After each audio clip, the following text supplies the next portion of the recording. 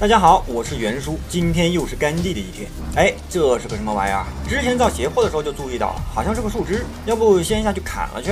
哎，上面还有个箱子呢，为什么会有个箱子？尝试了一下，电锯锯不掉这玩意儿，到下面锯吧。这地方还有点不好过去，稍微用地基垫一下，就这个吧？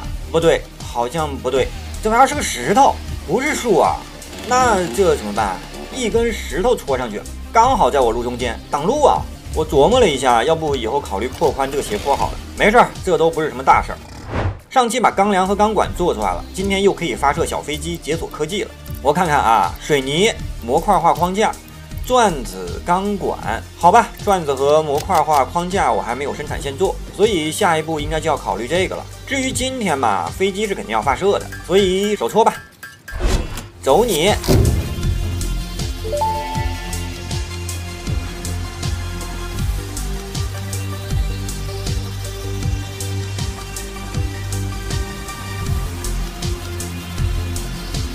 要不下次尝试一下上飞机，看看能把我带到多高的位置。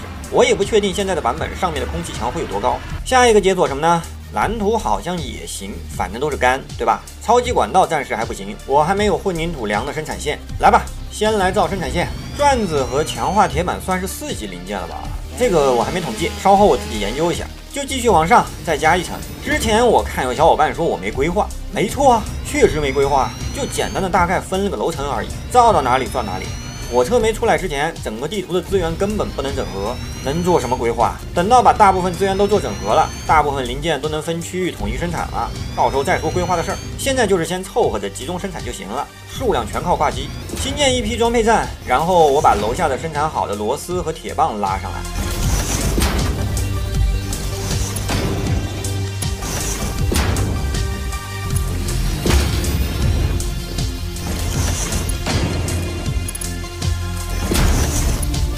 好了，钻子这不就有了？规模还差了点儿，附近资源太少了，不够生产，我还得留点资源给别的零件用。暂时先这样吧，总比没有强。之后我应该会再出去探索一次资源，到时候家里的工厂刚好挂机囤资源了。另外再造四台装配站，楼下生产好的螺丝拉上来一些。现在二级传送带的传输速度是每分钟一百二十个，生产强化铁板每分钟消耗六十个螺丝，那我一条传送带供应两个装配站就刚刚好。铁板有点麻烦了呀。我这边不是建造了好几层吗？铁板在比较靠下的楼层，而且距离还比较远，我得想想从哪儿拉传送带给弄上来。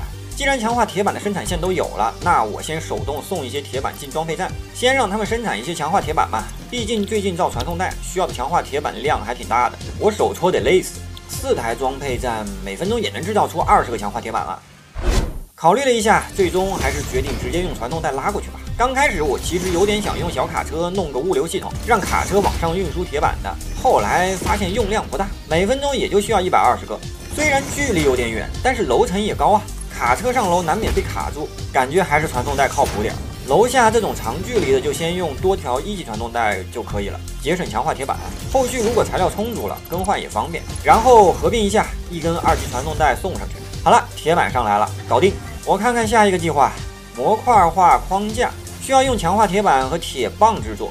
哎呦，我的强化铁板产量也不高啊，这得是逼着我去找新的铁矿了。来吧，看看现在能升级什么科技。三级物流需要钢管、强化铁板和钢梁，问题不大，就是得去煤矿区那边拿点钢梁回来。来，发射。